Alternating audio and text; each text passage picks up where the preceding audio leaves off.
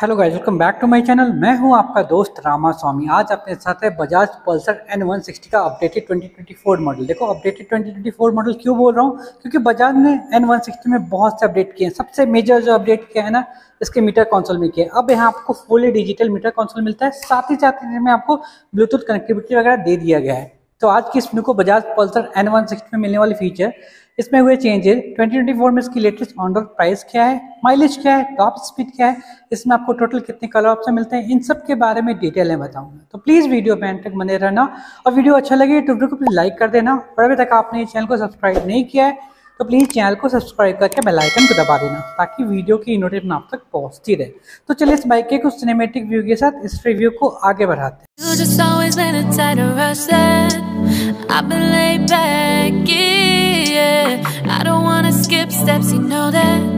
सबसे पहले बात करते हैं बजाज पल्सर एन 160 में आपको वेरिएंट्स कितने मिलते हैं? कोई सिंगल वेरिएंट्स के साथ आता है ड्यूअल चल एबीएस मिलता है। अगर वही बात करें इसके कलर ऑप्शन की तो एन वन सिक्सटी में आपको तीन कलर ऑप्शन मिलते हैं। ये जो सामने आप देख रहे हो ना, ये पोलर स्काई ब्लू कलर है। इसके अलावा आपको ब्लैक कलर आता है और एक पॉल मेटालिक व्हाइट कलर आता है। तो तीन कलर ऑप्शन को मिलते हैं। चलिए स्टार्ट करते हैं इसका फ्रंट के लुक से।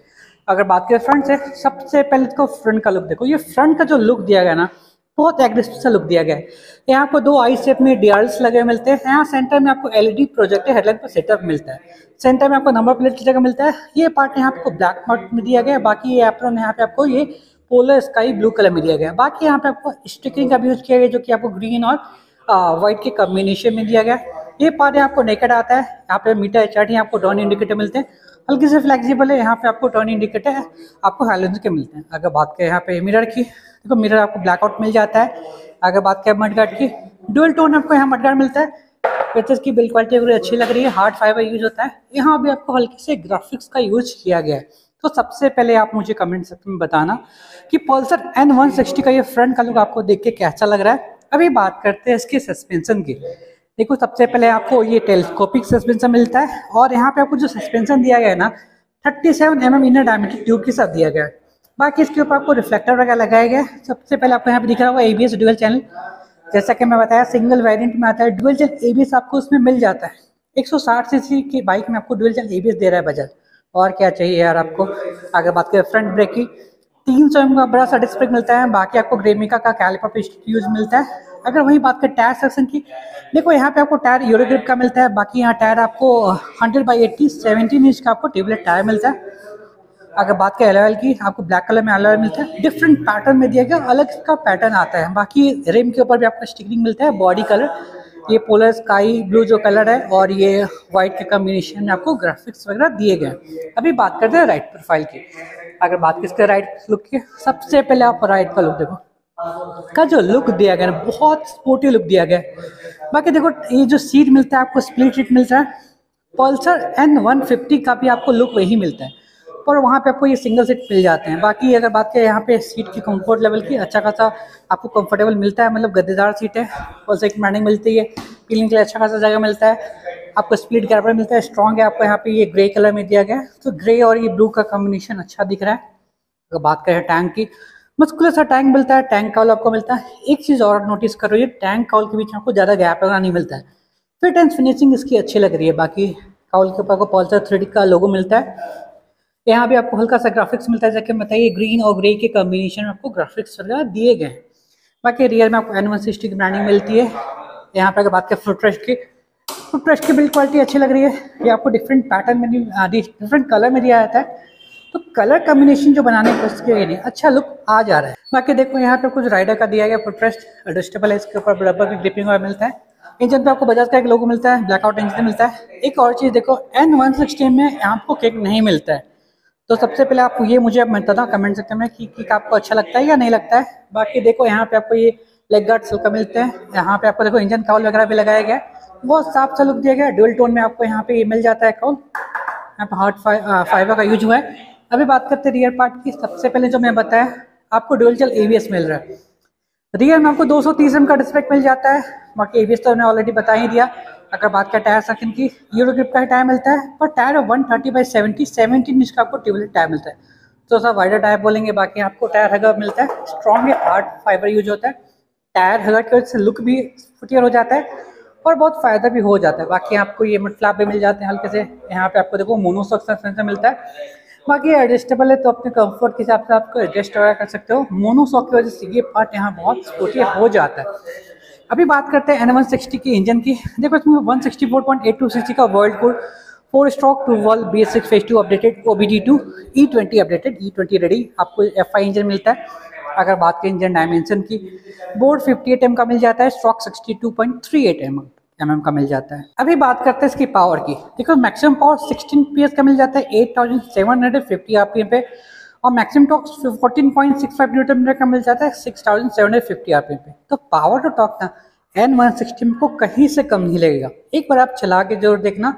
वैसे बहुत स्पोर्टी लुक आता है। पावर भी अच्छा है और माइलेज भी दमदार मिलता है। माइलेज के बारे में थोड़ा सा आगे बात करेंगे। अभी बात करते हैं रियर पार्ट की। सबसे पहले आप रियर का लुक देखो। रियर में आपको जो पल्सर का सिग्नेचर स्टाइल में एलईडी टेल लैंप्स आता है। ग्लिटन पैटर्न में टेल लैंप दिया जाता है।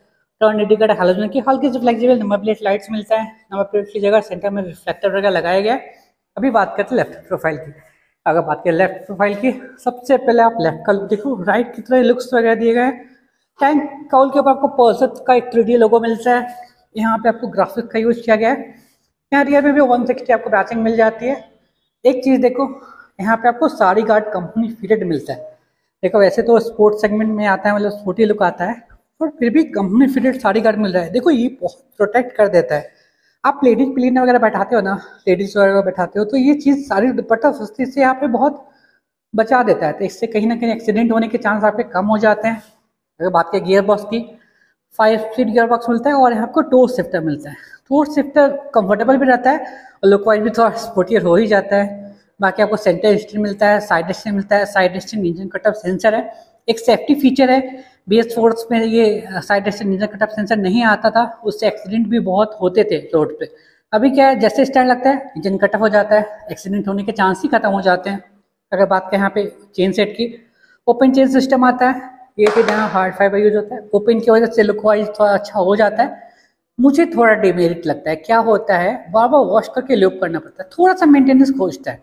पर उतना मेंटेन कर दिया आपने लुक वाइज तो अच्छा लगता ही है यार। अभी बात करते हैं इस बाइक की, कुछ ओवरऑल डायमेंशन की। अगर बात करें इसके ओवरऑल लेंथ की ओवरऑल लेंथ यहाँ one thousand nine hundred eighty nine M का मिल जाता है। ओवरऑल लेंथ यहाँ सेवन फोर्टी थ्री एम का मिल जाता है। ओवरऑल हाइट यहाँ वन थाउज़ेंड फिफ्टी एम का मिल जाता है।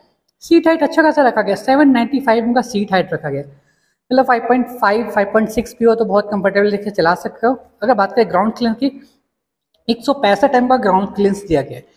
अगर बात करें व्हील बेस की one thousand three hundred fifty eight M का व्हील बेस है। अगर बात करें कर वेट की, एक सौ चौवन के जी का कर्व वेट रखा गया है। अगर वही बात करें फ्यूल टैंक कैपेसिटी की, चौदह लीटर का टैंक कैपेसिटी मिलता है। और ये टैंक देखो, बहुत मस्कुलर इसमें टैंक मिलता है।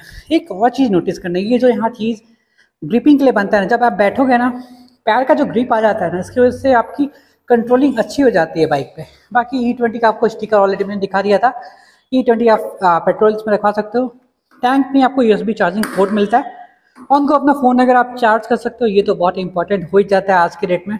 बाकी अभी बात करते हैं मीटर कौंसल की, जहाँ बजाज ने मेन अपडेट दिया है फुली डिजिटल मीटर कौंसल कर दिया है। पहले आपको एलॉग का मीटर आता था टैकोमीटर उसको हटा के डिजिटल कर दिया गया और ब्लूटूथ भी मिल जाता है। पहले ब्लूटूथ नहीं होता था, बजाज के किसी बाइक में ब्लूटूथ नहीं था। पर बजाज सबसे पहले N one fifty N one sixty में ही ब्लूटूथ दिया है। ब्लूटूथ के बाद call alert S M S alert यहाँ पे आपको दिख जाएगा फ़ोन बैटरी लेवल इंडिकेटर वगैरह दिख जाएगा। वैसे इसमें आपको गियर पोस्ट इंडिकेटर मिलता है tachometer odometer speedometer clock fuel gas सब कुछ यहाँ पे आपको ये डिजिटल पार्ट हो गया। एक और चीज़ देखो, एक और चीज़ अपडेट किया गया, इसके स्विच गियर को अपडेट किया गया। यहाँ टॉगल बटन मिल जाता है, आपको एम का एक बाकी यहाँ से आप टॉगल कर सकते हो। इसमें आपको डिस्टेंस टू एमडी का फीचर मिल जाता है ए मिल जाता है एवरेज इंडिकेटर बता देता है, आपको आई बता देता है डिस्टेंस डी जो है ना ये एक ऐसा फीचर जो मुझे बहुत पर्सनली अच्छा लगता है। क्या होता है ना, आपके बाइक्स में कितना पेट्रोल है ऑलरेडी यहाँ पे दिखा देगा किलोमीटर कितना है।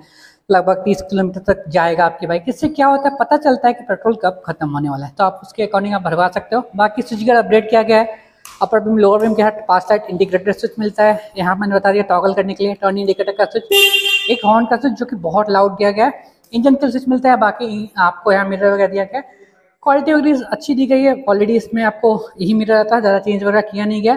मेन जो अपडेट है, इसके मीटर में किया गया स्विच को अपडेट किया गया। चलिए इसके एग्जॉस्ट को सुनते हैं। यहाँ पे आपको डियल स्विच करने को मिलता है।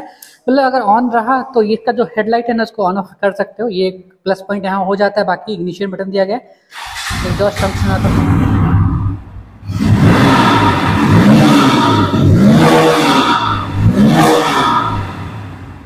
इसमें आपको अंडर बैले एग्जॉस्ट मिलता है। देखने में स्पोर्टिव लुक हो जाता है। वैसे इसका एग्जॉस्ट साउंड भी बहुत अच्छा आता है। आप मुझे जो बताना कि इसका एग्जॉस्ट साउंड को सुन के कैसा लगा। अभी बात करते हैं माइलेज की। जो मैं बार बार बोल रहा था स्पोर्टिव लुक है, आपको पावर अच्छा मिलता है और माइलेज भी अच्छा मिल जाता है। अराउंड आपको 50 के का माइलेज मिल जाता है। 45 से 50 लोगों को मिल जाता है। देखो ये जो माइलेज है ना, बहुत से फैक्टर पे अप डाउन करता है। आपका स्पीड क्या है रोड का कंडीशन क्या है, इसलिए ये अप डाउन हो सकता है।